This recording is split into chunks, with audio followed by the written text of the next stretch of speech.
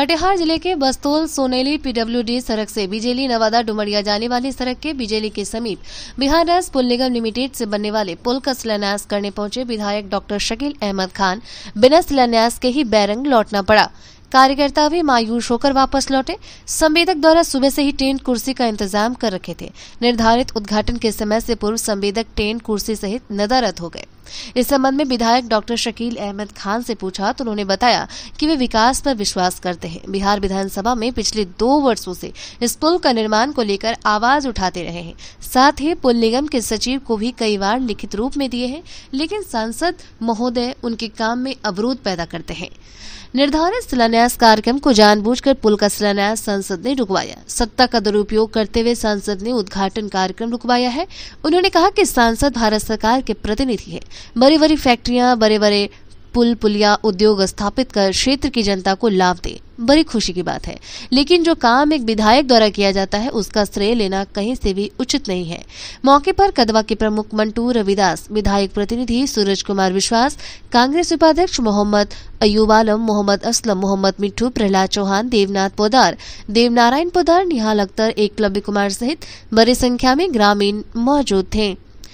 बिहार के लिए, कटिहार से bureau report. BT news Katihar.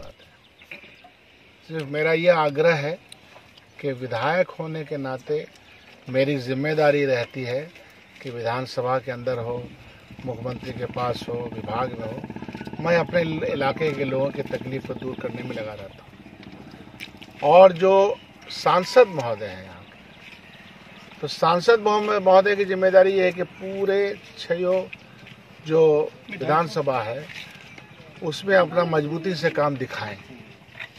हमारा किसी से कोई कंपटीशन नहीं लेकिन हम ये आशा करते हैं कि पार्लियामेंट में बहुत पैसे हैं। विधानसभा के अंदर बिहार के पास तो कम पैसा है। कम पैसा में हम इतना काम करने का प्रयास करते हैं।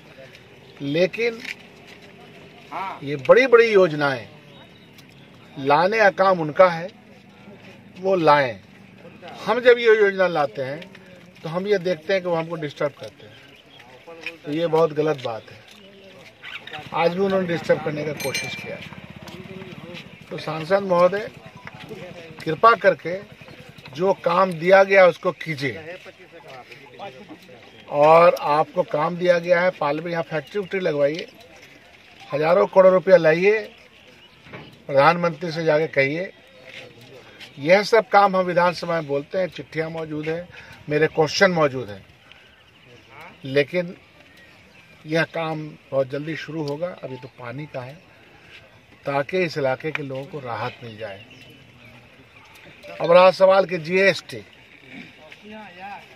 ये पहली सरकार है देश की, जिसने चावल, गेहूँ, सब्ज़ी सब पर 18 प्रतिशत तो चौबा चौबीस प्रतिशत जीएसटी लगा दिया। तो ज़ाहिर सी बात है कि आटा, चावल का दाम भी पेट्रोल, डीजल, रसोई की तरफ़ बढ़ेगा। और जनता की तकलीफें और ज़्यादा बढ़ने वाली है।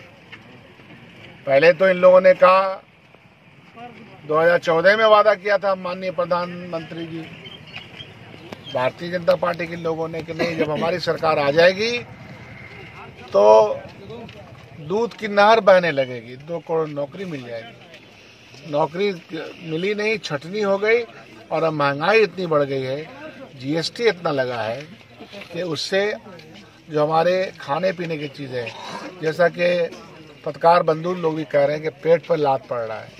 तो पेट पर लात, नौकरी पर लात, जीवन पर लात, आपसी मोहब्बत, भाईचारे पर लात वाली ये सरकार है। इस बात को जनता हमारी महसूस करे।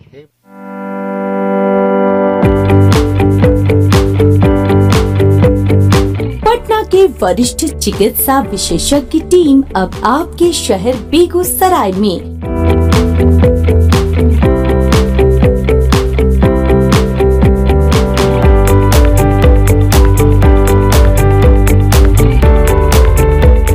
अमर ज्योति हॉस्पिटल जहाँ इमरजेंसी सुविधा ICU, HDU, OT, dialysis facility उपलब्ध है। हमारा पता है Anushka I T I N H thirty one Sushil Nagar Begusarai.